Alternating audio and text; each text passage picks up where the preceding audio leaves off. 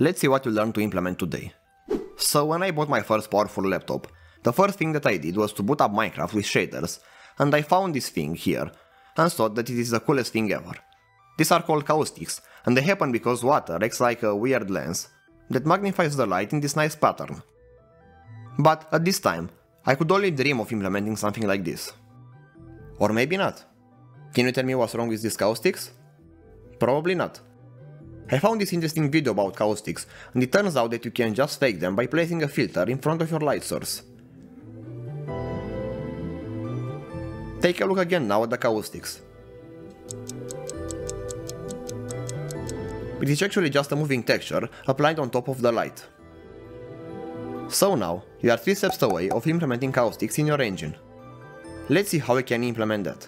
I'm adding nice shaders to my Minecraft clone for a future video, so I'll use it to demonstrate this effect. You don't actually need the water in your game to implement this effect. You can just project them onto a wall if you want. Or apply another texture for various effects. So you can get creative. If you want water though, I recommend this tutorial series. Step 1. Determine the surface that you want to apply the caustics to. Now this step can be trivial or very difficult, depending on your case. If you just have a wall that you want to apply caustics to, you can just set a flag in your shader for that object, or use a different shader altogether. Maybe you are lucky, and the bottom of your ocean is a different object and you can just apply the effect to it.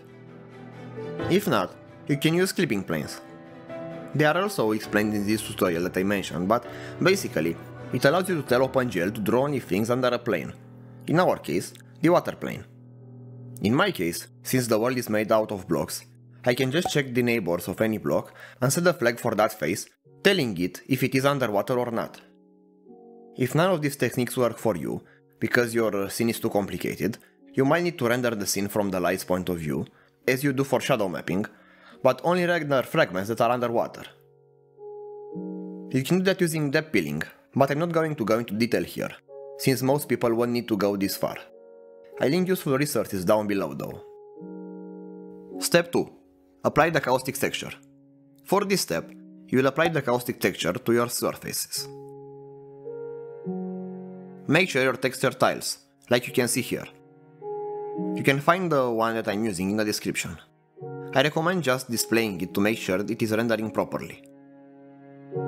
In my case, I just use the UVs of my blocks because they are all the same. And I also recommend you to use a debugging texture to make sure that the texture is always aligned properly.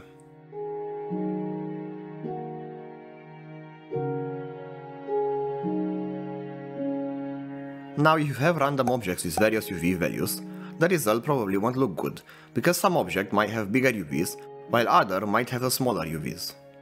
In this case, you have to project the caustic texture for somewhere above, like the light's point of view. So again, similar to how shadow mapping is implemented, but you just use the caustic texture. Finally, move the UVs by time and add the desired scale. Set the texture wrap mode to repeat, and add an offset to it that grows by time. Now I like to clamp my offset to 0, so it could run for infinity, but if you do that, make sure to clamp it to a number that is multiple of the scale of your texture. Otherwise, you will be able to see when the timer resets. Step 3. Do your color calculations. Now that you have your texture applied to the water, you can just multiply your light source with the caustic texture. I kept the ambient light unchanged. The result is not that noticeable. So I just multiply the caustic light with a constant. If you think about it, bumping up the light is actually physically accurate, because the caustics are actually a magnifying glass, magnifying the light in small portions. If you want to be 100% physically accurate, you can calculate the amount of darkness in your texture and use that to determine the correct light multiplier. I also use HDR, and this helps with the lights that are brighter than 1 as are the caustics in our case. It is not hard to implement though. You just need to apply this function that I'll provide in the description right before you apply the gamma correction. Now finally, I also added this nice chromatic aberration effect. This happens because when light refracts, its color components refract uh, at slightly different angles. You can bake the chromatic aberration directly into the texture, and by that I mean find one on the internet. Or just sample the texture at slightly different UVs at each color component. If you have a way to calculate the distance from your light to your fragment, you can also use that to make your chromatic aberration effect stronger. Ideally, the longer light travels through water, the stronger the effect gets. But this might be easier or harder to do depending on your setup and case. If you found this video interesting, don't forget to share it with others to help me, and maybe check out my Minecraft clone or this video about another advanced OpenGL topic called HBIO.